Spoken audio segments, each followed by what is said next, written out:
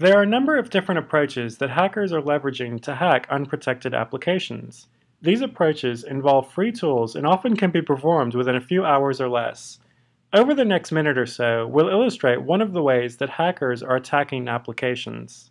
A hacker will use a freely available tool, Hopper, to perform a quick code analysis of an unprotected mobile app.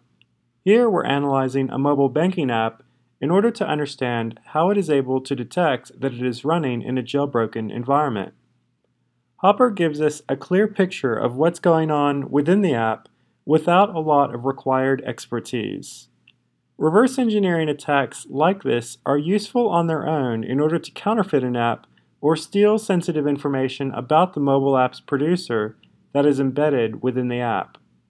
Furthermore, this attack is often used as a springboard to other attacks such as binary patching, code injection, or method swizzling to conduct fraud or steal a user's identity. Fortunately, there are solutions in the market to address the threat that we've overviewed in this short video.